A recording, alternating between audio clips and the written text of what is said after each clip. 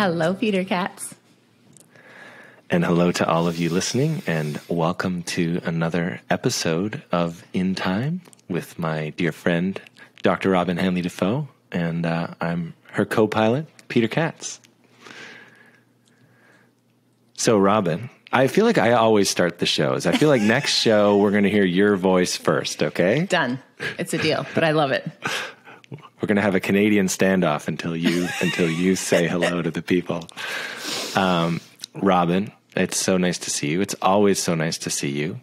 And um, as uh, as we say often as we as we begin our shows, just this reminder to people that you and I are creating this show in time, and so uh, we're not always necessarily f- finding the most convenient moments. I'm in the middle of a move, um, and uh, but we do this because we love doing it, and it fills our cup, and because we want to share some of these great conversations that you and I just have all the time, and and and see if they can kind of spill over and help fill other people's cups. Um, so, Robyne, what uh, what's going on in your world right now? Where are you? It looks like you're at home. I know that, um, but uh, maybe wh- where are you in time? I appreciate it, Peter. And um, so I am home. And what's very special, um, speaking of moving, this is the longest I have actually been home since our family moved into our new space. I hadn't spent a full consecutive week at home since we moved in. So it is very much starting to feel like home. So I am at home and uh, we're, we're managing just those ebbs and flows that I think a lot of families and people in communities manage where uh, we're doing our best with uh, five people who are in our space um, to kind of find patterns and rhythms that work for everybody. Just being mindful that everybody has different needs and different levels of attention that they need at different times. We're stick handling a few ones that are little ones that are sick at home. So uh, we're doing we're doing our best, but it feels so good to wake up in the same spot for a consecutive week now. Mm. I'm curious, like what are what are some of the uh, are there any house rules? Are there or uh, sort of house etiquette or like discussions or things that have been established, norms that have been established in your household that have that have helped you um, navigate coexistence with with five humans?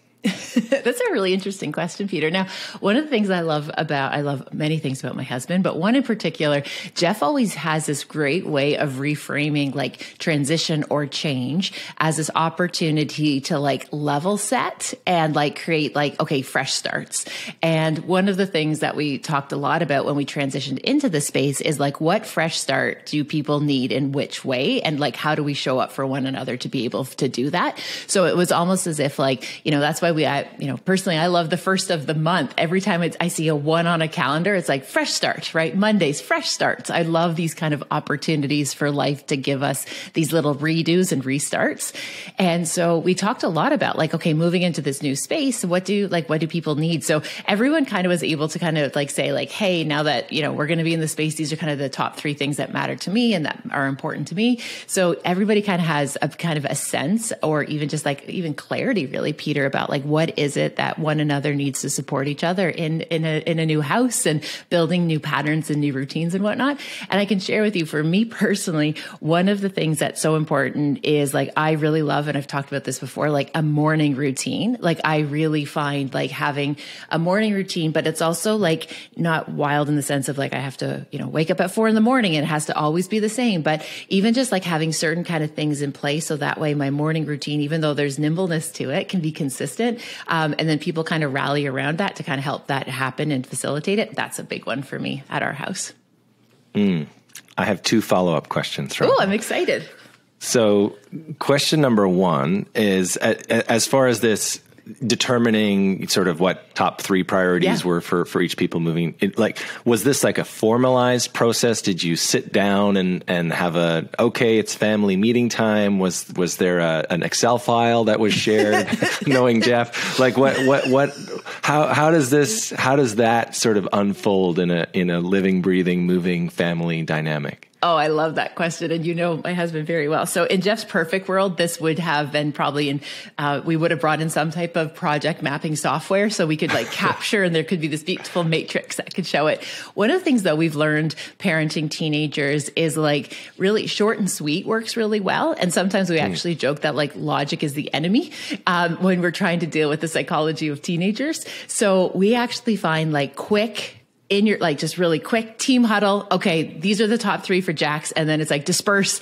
Uh, we actually find informal, quick, and just kind of to mm. the point is actually what works really well with communicating with the kiddos because the reality is that you know so often I think as as parents, especially, we kind of turn everything into like you know lectures or a bit bigger than they need to be, where it's just kind of like get to the point, right? So uh, mm. if we mm. can get to the point quickly, so it's pretty informal, um, but we kind of do these kind of team huddles, and we always kind of take note when the five of us are in a space together at the same time. So it'd be like, pause. Hey, we're all here right now in this moment. Hunter, mm. what are your top three things that you want to make sure that we're thinking about right now for you?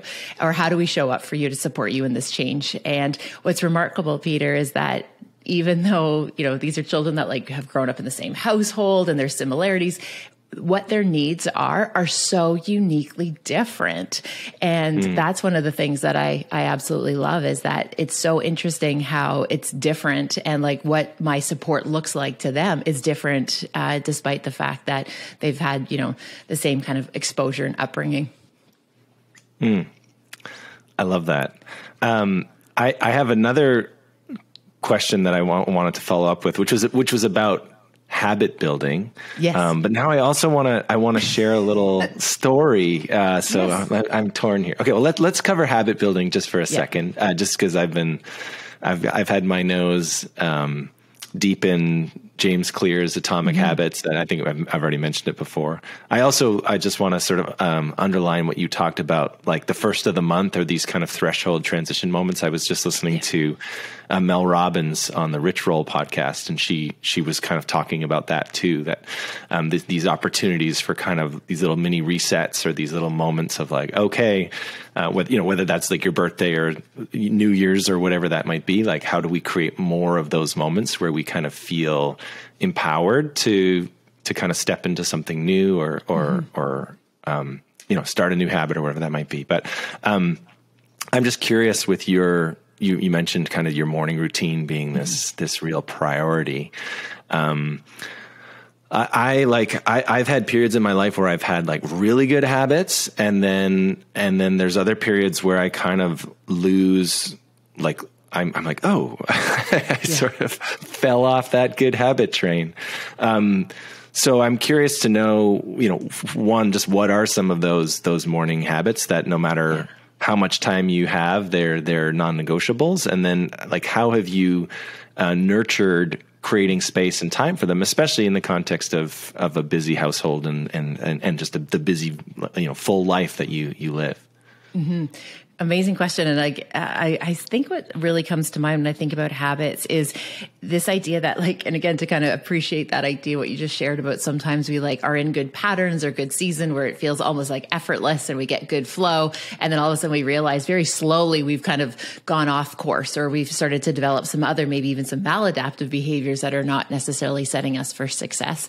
And I think that's so one of the things that I find helpful to think about is the fact that like motivation is very helpful for us to generate ideas, right? So we get this mm. idea and we feel motivation. We're like, you know, that's why at the beginning of those transition thresholds, like the first of the month or New Year's or birthdays or anniversaries or whatever it is, we get this like almost like this surge of energy where it's like, oh my gosh, this is totally in. I got it this time. And then what's interesting is motivation is meant to give us that curiosity, that like that excitement to start, but discipline is what's going to carry you through because motivation is so fleeting. So then we start to look at, okay, so what are those disciplinary habits? And what's amazing about discipline, and I love how um, uh, Jocko Willink writes about this in his dichotomy of leadership text, where he says like the discipline is what equals freedom. Because I think mm. so often we think discipline is like punitive. It's like, you know, it's like mistaken with willpower, where mm. discipline mm. is like choosing this behavior and consistently choosing the behavior that is going to increase the likelihood of success success. So it's not meant to be punitive. It isn't willpower. And so thinking about, okay, so what habits actually will promote that discipline that I need to be able to meet my needs? And for me, I keep it very simple uh, because again, time and travel makes things a wee bit complex. So for me, mm. it's something for my head, something for my heart, and something for my body, right? So first thing in the morning, before I ever open myself up to the world, especially before I ever, for example, look at a cell phone, it's like, what is, what are, what are those three things that I can do? Something for my head, something for my heart, and something for my body. So for me, movement is really important. So first thing in the morning, I make sure I get up and I'm moving. Now, when I'm at home, that's really easy because I have two gigantic dogs that remind me as soon as I open my eyes that mm. it is time to adventure. And, you know, rain or shine, minus 40 or not, uh, we're out moving about. So that makes it easier. But even when I'm not at home, I know the first thing that I need to do is move. And the way that I can get the discipline, Peter, to move even when I'm in hotels or traveling is I like go to find coffee, right? So it's this idea that there's a reinforcer at the end of it. I don't have coffee in my room. I physically get up, throw on even just a sweatshirt, track pants, and like literally go wherever I am in whatever city to move to go find coffee.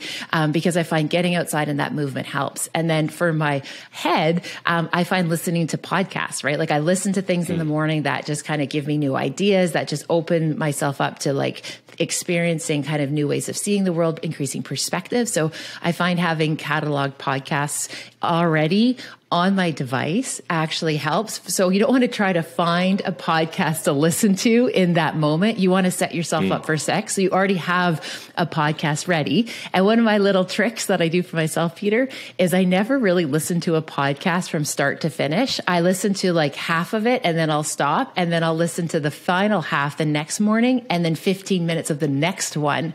So I'm mm. always in the middle of an episode because I find that helps with my kind of curiosity of wondering what was the next big idea. And the last one there is that idea about something for my heart. So whether that be gratitude, whether it be prayer, whether it be reflection. And the really cool thing about all those, Peter, you can do them all at the same time. It's not like I need to do five minutes of this and then five minutes. So as I'm going, moving to find coffee, I'm listening to my podcast. As I have mm. my coffee and I'm walking back, I'm doing those prayers, those gratitude exercises. So we can do it all packaged together. Mm. I love that, Robyne. Thank you for sharing. And you reminded me of one of my favorite uh, mindfulness practices is like the walking meditation, and uh, and very very simply, it's just as I'm walking, what am I seeing? What am I hearing? What am I feeling? And just making note. It's just like it's just like unattached note taking. Like, oh, yeah. I see that.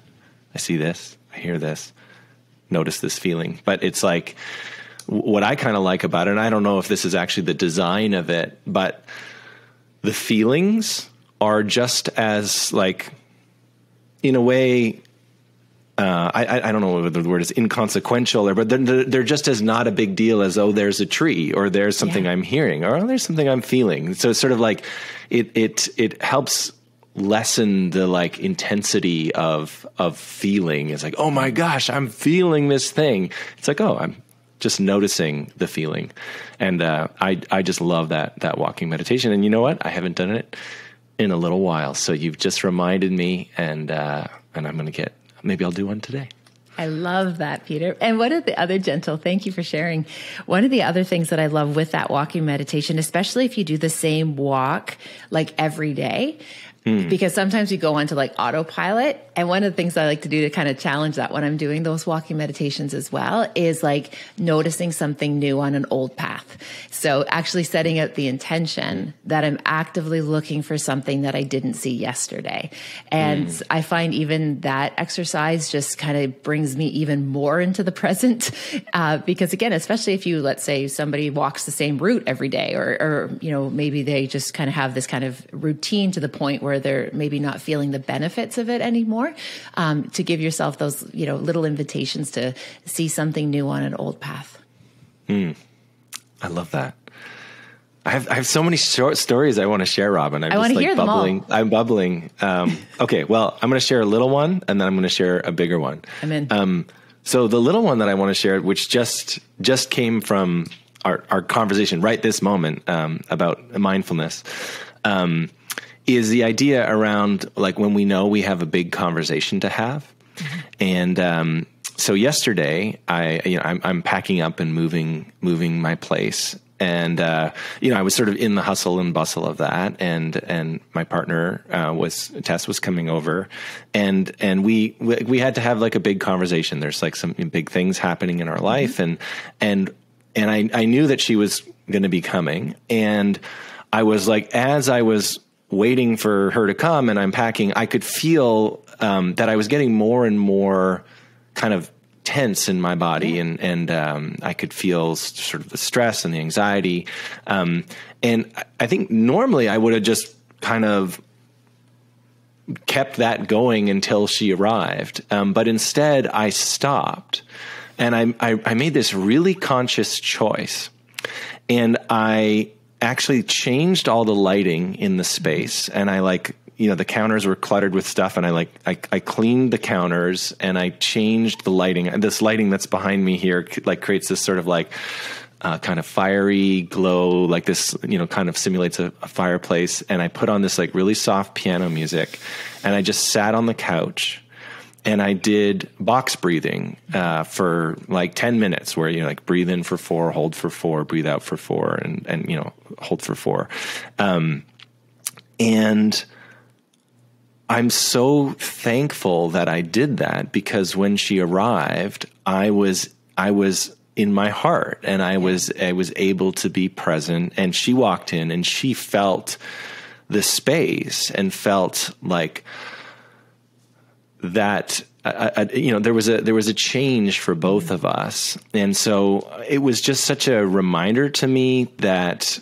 when we do have to have these big conversations like there's such little simple things. Like I'm always, I'm just always reminded, like we're just human beings, right? We're just like, like we're, we're, we're just like, we're, you know, overstimulated by too much light, too much sound, like, like by smells. Like we're just these, these sentient beings and doing these simple little things. I'm, I feel like I'm going to cry for whatever reason, but uh-huh. just like, just breathing, changing the lighting, like I feel like it just made such a difference in this relationship that I care about so much. And I, I, felt so thankful to have those little tools at my disposal and that awareness that I could choose to do that. Yeah. Um, and I, I, I, think of you and I think about some of those tools and I think about some of our mutual friends like mm-hmm. Dr. Greg Wells. And, and I also even just think about my own background in in theater and music and performance, and this idea that um, it's the space, the physical space that we're in. I know you talk mm-hmm. about this in your Forces of Recovery. Um, the physical space that we're in, from the lighting to the sound to even just the clutter, like can make such a big difference. So I just mm-hmm. just wanted to share oh. that with you. Peter, I, I, I'm so appreciative that you shared that with all of us. And I just love that, that idea of like, you've picked up these little nuggets of wisdom or, you know, these little gems of insight along your path. And what I'm hearing and I'm feeling is that I'm so happy that in that moment you like you put it into action because I think so often we pick up these learnings or these lessons but knowing when to use them is so important if not even more important than the knowledge. So I appreciate that sharing of this idea like yeah you you knew this you noticed it which is amazing that you're able to do that with so much things going on with so many things going on and then you realize okay what tool matches is what I need right now.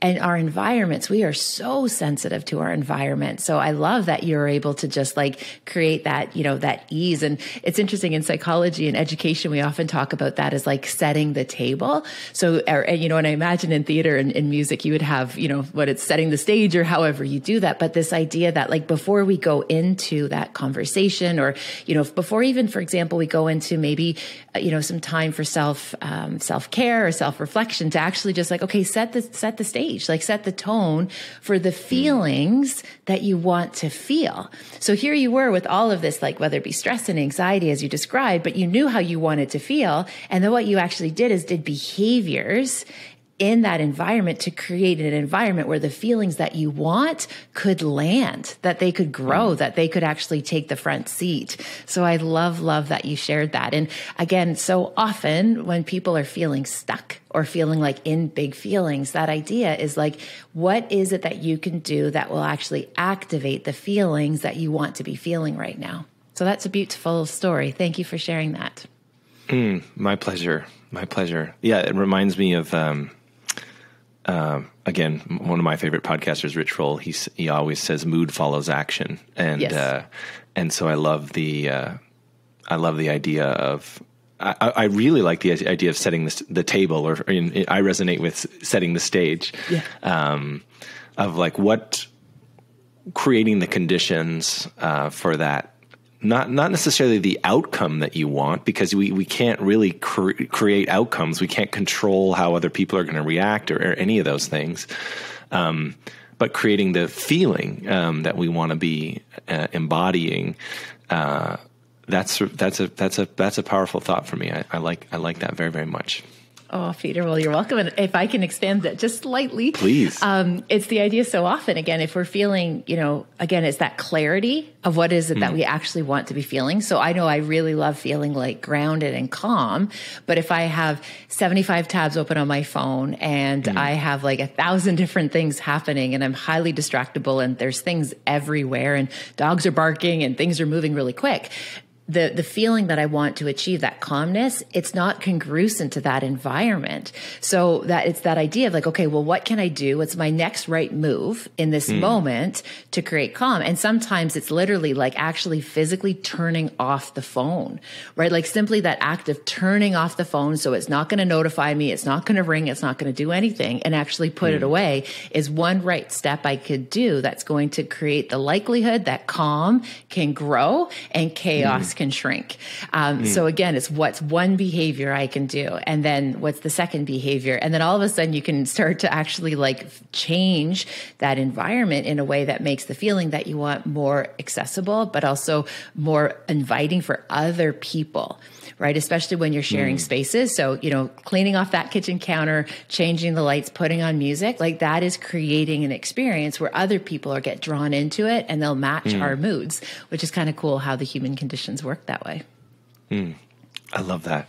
Mm-hmm. Um, well, Robyne, I'm making an executive decision to oh. save my other story oh. for the next episode. so we're gonna we're gonna create an open loop, uh, which will uh, so people can follow your advice to listen to half a podcast, maybe start a little bit of the next one. We're gonna leave a little cliffhanger here. Um, but I, I, think the the story that I want to want to share, I, I think you'll have thoughts that, to expand upon it, and I think. Uh, uh, it was a, a, really special thing that I, I, okay. I want to share. So we'll leave the cliffhanger. And I always feel like um, the questions that we have for each other get a little bit shortchanged and we rush mm. through them at the end. So I thought I would create some spaciousness for our, our questions this time around, and we'll see we'll see where they take us. Um, but uh, this idea of setting the table, I lit up because that has to do with the question that I have oh. prepared for you. So I was like, oh well, let's. Uh, let's uh, let's segue. I, you know, you, you see a perfect segue, you got to take it. So, take it.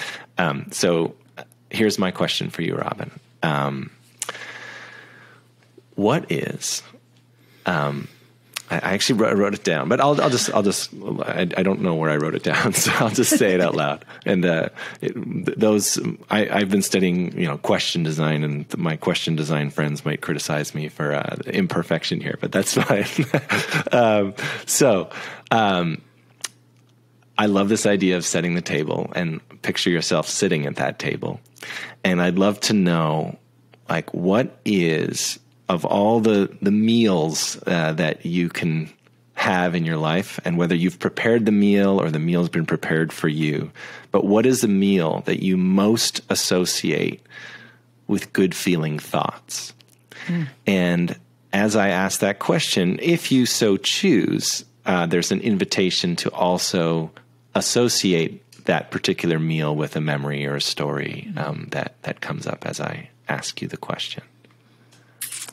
Oh, Peter, you ask very good questions. Oh, thank you. okay, so uh, This is so interesting because I feel at such different seasons and times in my life, it was so different. Mm. So I'm I'm pulling on the thread of like consistently. So as mm. as I've shared in my work, I've already kind of alluded to it in our conversations already this season. Um, I've obviously had some very dark seasons, and so often I find that, especially as somebody who's experienced trauma, what happens is we kind of have like start and finishes where it's like, okay, that was the good part, that was the bad part. So one of the things that I'm really challenging myself to do is to like find the thread of like where was Robyne through all of that without it having to be good or bad season, but where are some of mm. those consistent patterns that I carry with me now? And so the food that first came to my mind that is in that spirit of what was consistent, not just that was a good season in my life, that was a hard season in my life. Um, actually, it's pretty small in the sense that it's not a very uh, glamorous meal item, I would say. Um, but uh, it, we have this kind of thing around like mashed potatoes. And mm. it's funny because we would, you know, when I was growing up, we would have Sunday dinners and like mashed potatoes would be part of it. We had kind of a traditional kind of Sunday dinner type recipe. And I remember when I first went away to university, it was like the longest I had ever gone in my life without having mashed potatoes and any version of mashed potatoes that were served in these cafeterias. They were like from powdered boxes. Like, and I remember coming home and it would have been on, in Canada, it would have been our Canadian Thanksgiving in October when I first came home that first year.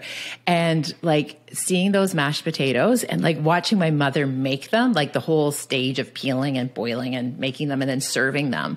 I remember thinking that, my gosh, mashed potatoes are such an expression of love. Like there's mm. a lot of work that goes into it. And it's so like for me, it's like mashed potatoes and it kind of goes through. But the, the kind of piece that I would kind of bring that full circle with is we now kind of have this, you know, running joke with my teenagers that when mom slows down long enough or is home long enough to make mashed potatoes, that's actually like part of like she loves us. So, so not they, my kids know that I always love them, but it's like you know we kind of joke about the fact that like oh if we're making a meal that somehow has mashed potatoes in it, like this is like this is mom connecting, this is mom bringing us all together, and so whenever we're like serving mashed potatoes, um, it's like this like expression or family like all three of the teenagers are is like oh my gosh, mom loves us, she made us mashed potatoes. And the really funny mashed potato story that's totally disconnected, but I think it just came to mind I'd share with you. I remember one time my I was home from university and I had brought um, a new a new a new friend we were like testing the waters with this new friend in this new relationship. And I brought this person home and I had been dating somebody previously for a very long time. And that person's name happened to be Michael the previous boyfriend and I had a new friend at this family dinner. Again, it was very early stages, Peter. And my mom came around with this beautiful dish of mashed potatoes and looked at my new friend and said, Michael, would you like mashed potatoes? Which was the name of the previous boyfriend. And then she turned and literally like threw mashed potatoes at my father, who happens also to be Michael. And so her like attempt to like cover up a very honest name slip completely justifiable. It was just, it was such an innocent mistake that she felt so terrible about. But the fact that my father ended up with like eight servings of mashed potatoes um, in her attempt to try and like not make this person feel awkward, um, it was really special. So, Peter, that's a very long answer to say mashed potatoes are pretty freaking special in my life.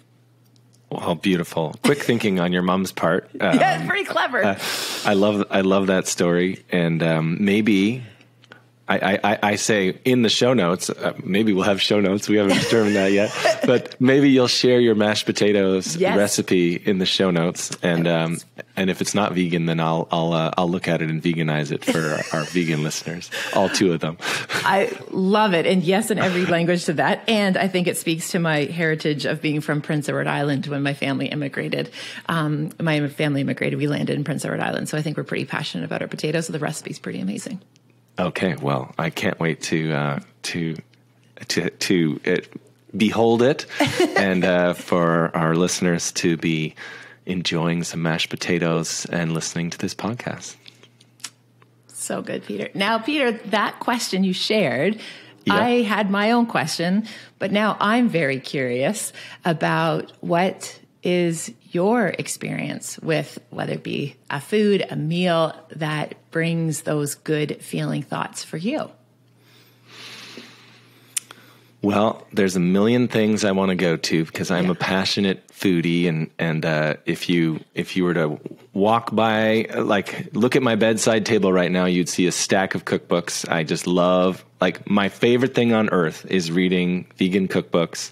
Um, uh, especially, I, I, love sometimes going to the bookstore and like the ones that have the coffee shop in them, and I'll get the coffee and I'll just have like a stack of books. So um, I could just go on and on and on and on about all the different um, all the different meals and and things that I just associate with it. But as um, as I don't know whether this is our protocol, but I'm just going to follow the the the first thing that um, that kind of emerged for me, mm-hmm. Um, and that is uh, this apple pie. And um, it, it's funny because i you know there's there's like pie people or cake people and mm-hmm. i am historically a cake person. Uh, like i remember someone trying to describe the words too sweet to me and i was like i don't know what that means. Like like, like uh, so um, however my family i'm one of four siblings and i'm the baby. And when we were kids every single year we would get a giant bushel of apples and we had this this futuristic device that you would attach to the side of the, counter, the counter, and you'd you know plunk plunk the apple on and it would like it would peel it it would slice it it would core it all in one. I just thought that this was the greatest thing. Um, and we would we had this kind of a assembly line and i was i was I was in charge of of the apple peeling most of the time. The crust was a was more sophisticated thing that my mom and my older brother, as he got older, was able to to get in on.